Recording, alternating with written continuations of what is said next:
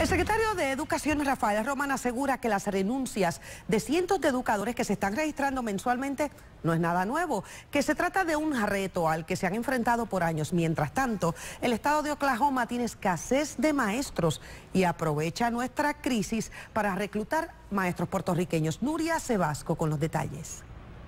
Un aumento salarial a la clase magisterial del país podría detener la renuncia de maestros, que mensualmente alcanza unos 150 a 200 educadores. Con relación al aumento salarial de los maestros, ¿eso podría ser una alternativa o por qué no lo contempla? Bueno, eh, eh, ciertamente nosotros, eso, es un tema que, se ha estado discutiendo por mucho tiempo.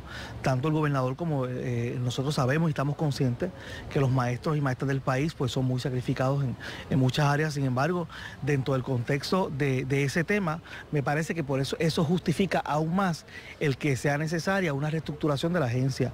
Ante esa realidad económica que no es noticia para el magisterio, quedarse en el sistema público de educación no parece ser una opción. Para muchos maestros del sistema público de Puerto Rico, esta es una de las alternativas. Explorar el sistema público de enseñanza de otros estados, como por ejemplo la ciudad de Oklahoma.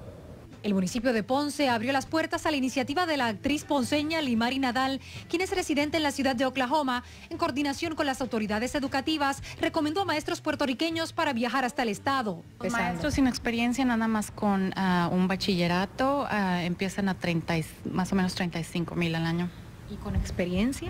Depende de cuántos años de experiencia tengan. Tenemos una tabla donde eh, explicas, dependiendo de los, años, de los años de experiencia y si tienen más educación, maestría o doctorado, tienen, se les paga más.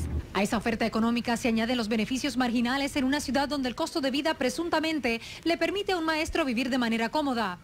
A eso aspiran estos educadores. ¿Qué lo mueve a ir a, Oklahoma City? Bueno pues como le dije antes, las condiciones de trabajo aquí están bien limitadas. Este, no nos valoran a los maestros. Este, buscando ese sueño americano, a trabajarlo y a buscar una mejor calidad de vida. La preparación académica que yo tengo de inglés, este, aquí en Puerto Rico se me está haciendo un poquito difícil conseguir un trabajo.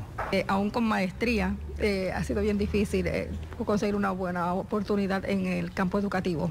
Para evitar que esta situación tenga un impacto negativo en la educación, Román apuesta al programa de maestros sustitutos que provendrán de las escuelas de pedagogía del país, que también reduce su plantilla cada vez más.